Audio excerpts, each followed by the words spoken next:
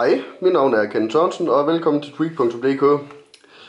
I dag der tager vi den på en lidt anden måde, så I slipper fuldstændig for at komme til at se på mit grimme fjæs i dag, for jeg er syg og ligner et eller andet, der er løgn. Men øh, en film af det her grafikkort, det skal I altså ikke snydes for alligevel. Øh, som du nok allerede har gættet ud fra indpakningen, så er det et Asus GeForce GTX 780 Poseidon Platinum. Og det specielle ved det kort her, det kigger vi på lidt senere, men allerede på kassen her kan du faktisk se, hvad det er.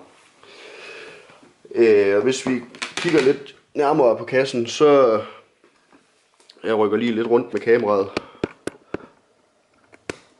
Og jeg beklager, hvis I kommer til at se nogle dyner i baggrunden, men øh, jeg har udstationeret mig på min sofa, så, så jeg håber, I kan leve med det. Men øh, i hvert fald, hvis man åbner op her, så får du lige her øh, hurtigt et lille overblik over nogle af de features, kortet det byder på. Blandt andet noget med temperaturerne, noget med den strømstyring, noget lys og nogle fittings. Og allerede nu, så ved I allerede godt, hvad det drejer sig om. Ligeledes så får du også lige et hurtigt blik på noget af køleløsningen på selve kortet. Og det er jo en rigtig, rigtig fed feature, som altid. Det, vi kan godt lide sådan nogle små teaser. Vender man boksen om, så kan du her se, hvordan køleren den er blevet bygget op.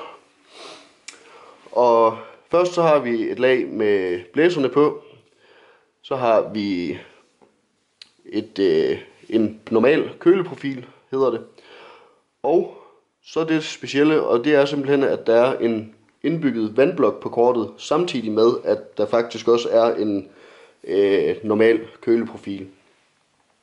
Så har vi selvfølgelig PCB'et, hvor alle komponenterne sidder på, blandt andet øh, strømstyringen, som vi talte lidt om før. Og så har vi en rigtig, rigtig lækker bagplade. Så det var hurtigt kassen, men øh, lad os få pakket kortet op og se, hvad der gemmer sig inden i kassen. Tilbehørspakken til Asus GeForce GTX 780 Poseidon Platinum 3 GB, den er faktisk ikke vanvittig stor. Nu håber jeg, at jeg huskede og fik sagt, at det var tilbehørspakken. Jeg øver ører i hovedet.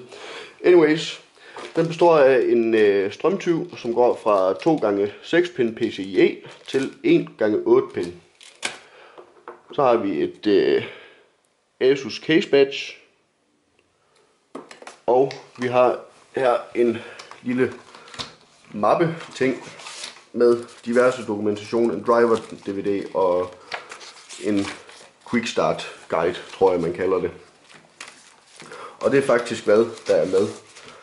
Øhm, jeg blev faktisk noget overrasket over, at tilbehørspakken ikke var større til et grafikkort som det her, men øh, der er selvfølgelig alt, hvad man skal bruge, så der er ikke noget at sætte en finger på som sådan. Og så skal vi selvfølgelig kigge på selve grafikkortet også.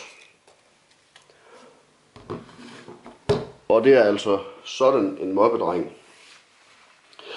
Øh, grafikkortet det er selvfølgelig udført i øh, rock-temaet, altså rødt og sort. Og du kan også se hernede i hjørnet, at det faktisk er et Republic of Gamers grafikkort.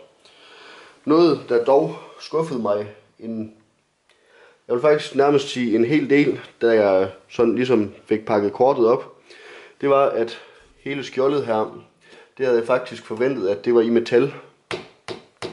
Det er det desværre bare ikke. Det er plastik. Og det synes jeg altså ikke, det er helt godt nok taget i betragtning af, hvor dyrt kortet her det egentlig er. Og Asus' klassiske stil på deres Poseidon og generelt Republic of Gamers kort, det er jo, at selve skjoldet her, det faktisk også er lavet i metal. Så det, det er en, en lille sidenote. Det er ikke noget, der gør noget for ydelsen af kortet eller noget som helst, men øh, det skuffede mig en lille smule, må jeg indrømme. Så er der selvfølgelig blæserne her, og de er også øh, lidt atypiske i forhold til mange andre, eller faktisk så begynder flere og flere at gøre det. Men øh, når du starter computeren op, så drejer de simpelthen den forkerte vej rundt i et vis antal sekunder. Simpelthen for at få støv væk fra både blæseren, men også køleprofilen. Så kigger her på siden af kortet. Jeg ryster lige lidt med kameraet, det beklager jeg. Kigger her på siden af kortet, så kan du her se den kæmpe store vandblok. Og her der har du tilslutningen til blæserne. Du har den rigtig, rigtig lækre bagplade. Skal jeg også lige huske at holde øje med, at I kan se det. Og vender man det om, så er det her altså siden, der vender ud mod øh, kabinetsiden. Altså den side, du vil kunne se. Og sådan umiddelbart ved første øjekast, der ser det hele jo sådan set meget normalt ud. Men der er altså nogle fitting-tilslutninger her, som jo så gør, at du kan sætte det her kort i dit custom vandkølingssystem. Og det er jo faktisk rigtig, rigtig, rigtig smart, for så er du fri for at skal ud og investere i en normal køleblok til et grafikkort som det her. Dog er der en ting, som faktisk også skuffer en lille bitte smule, og det er, at du kan faktisk ikke pille selve luftkøleren af, fordi så overheater øh, nogle af strømstyringskomponenterne herpå.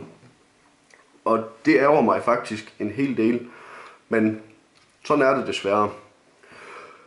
Øh, Tilførselen den er udgjort af en 8-pin PCIe og en 6-pin PCIe.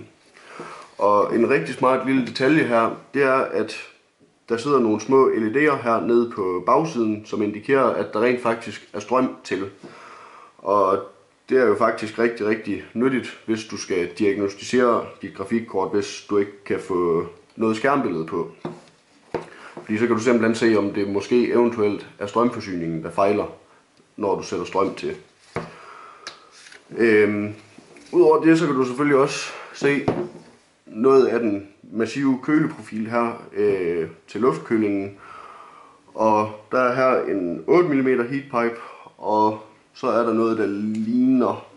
Jeg synes faktisk, de ser lidt for tynde ud til at være 6 mm, men mit umiddelbare gæt er, at det er 6 mm trods alt. Og det er jo rigtig, rigtig fint. Grafikkortet her, det skulle jo selvfølgelig også holde sig ved nogle øh, rimelig lave temperaturer. Men i forhold til mange andre, så synes jeg faktisk, at temperaturerne på det kort her, det, de har været lidt høje, i hvert fald hvad angår luftkøling. Vandkølingsdelen, den har jeg desværre ikke mulighed for at teste, da jeg ikke ligger inde med et øh, custom vandkølingssystem lige pt. Og det er jo selvfølgelig drøn ærgerligt, men sådan er livet desværre en gang imellem. Her bagtil, der kan du også igen se noget af køleprofilen, både fra vand- og luftdelen. Hvis vi kigger på tilslutningsmulighederne, så er der to gange DVI. Og der står faktisk også, hvad det er for nogen. Den nederste her, det er en DVI-E, og den øverste, det er en DVI-D. Og så har vi selvfølgelig en HDMI-port 1,4 og en DisplayPort.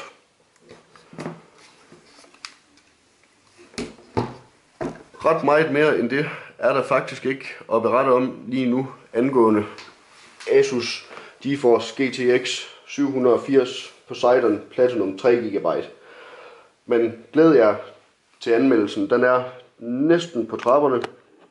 Og jeg er lige så positivt overrasket, som jeg er negativt overrasket over grafikkortet her. Og hvorfor, det kommer I selvfølgelig til at kan læse i anmeldelsen. Så husk at tjekke ind på tweak.dk og læs anmeldelsen af grafikkortet, som kommer op i løbet af ugen her. Og husk også at tjekke ind på vores Facebook-side. Husk at give vores videoer en tommel op. Det hjælper os så meget mere, end I aner. Og sidst men ikke mindst, tusind tak fordi I så med. Kan I have det rigtig godt. Oh!